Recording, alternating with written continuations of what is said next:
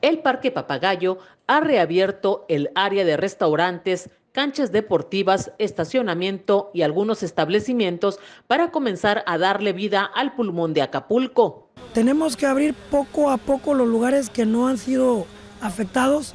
El interior del parque, los snacks que fueron realmente afectados de manera eh, difícil, no se van a reaperturar el parque al interior, pero estamos analizando de la posibilidad de abrir el área de reserva, que es un área independiente al resto del parque y que no hay tanto daño. El director del Parque Papagayo, Abel Lubio Villanueva, hizo un llamado a la ciudadanía para que este domingo 10 de diciembre a las 7 de la mañana asistan a la tercera campaña de limpieza del parque.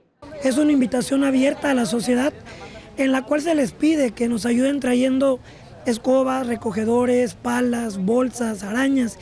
La finalidad es que entre todos podamos darle una mano al Parque Papagayo y devolverle entre todos el esplendor que por tanto tiempo ha tenido el parque.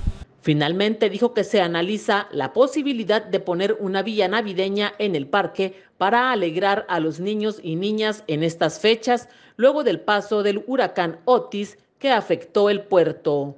Informó Teresa Lubiano de Labra, RTG Noticias.